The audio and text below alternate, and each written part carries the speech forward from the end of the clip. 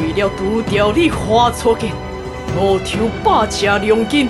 断为血边，用变翠龙鳞护甲。今日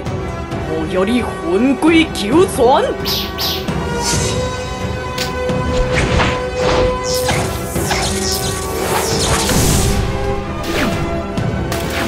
这种九年的和平，一剑划破这烽火连天的之妖，这种改写遥远地角的未来，吹向战争河角的人，在地角绵绵因手中一块骸骨，可不禁血色万鬼三途，死亡堆满彼岸，玉帝一连串精彩叙述，请继续收看《霹雳英雄战旗之护法世界》第七章：